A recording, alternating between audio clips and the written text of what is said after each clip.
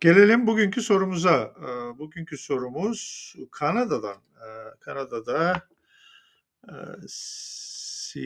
COMC Canadian Open Mathematics eee, Challenge dedikleri sınavda sorulmuş olan bir geometri eee, sorusu.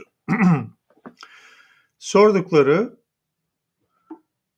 gördüğünüz gibi burada AQ, P, B ve ASRS denilen iki tane kare var.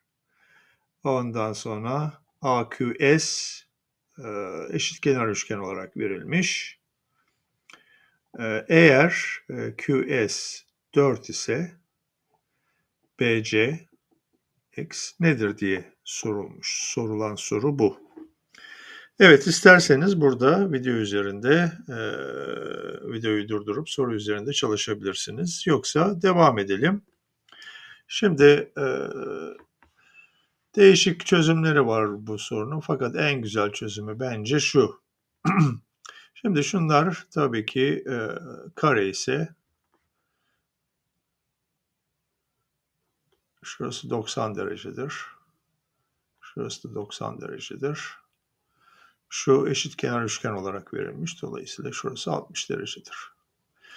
Dolayısıyla 90 90 60 şu yukarısı, yukarısı 240 derece. Dolayısıyla şu açı 120 derece olmak zorunda. Buradan bir dik indirirseniz bu simetrik şu açıyı ikiye böler. Dolayısıyla şurası 60 derecedir. Dolayısıyla şurası da 30 derecedir.